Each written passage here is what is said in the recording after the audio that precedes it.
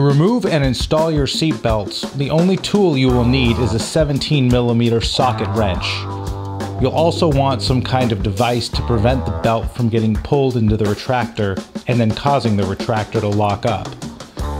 Whether your seat belts are currently installed in your car or not, the first thing you'll want to do is install your anti-retraction device. If your seatbelt retractor does lock up during this process, I've got a link to a video showing how to unlock it in the video description. Next, remove the bolt from the upper anchor point.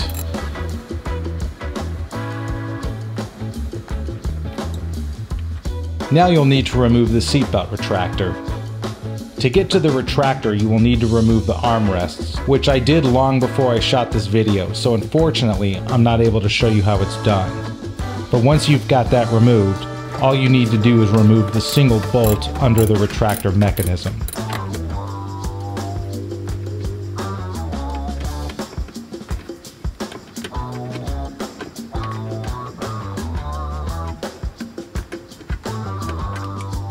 Now remove the bolt from the bottom anchor point and you're done.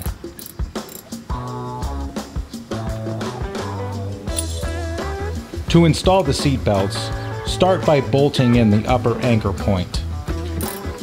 From the research I did, it looks like 37 foot-pounds is the correct torque for all three bolts.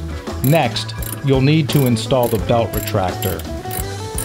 Before you finish tightening the bolts, be sure to angle the belt retractor towards the top anchor so the belt webbing has a direct line of travel. Now bolt in the bottom anchor and you're done. Thanks for checking out this video.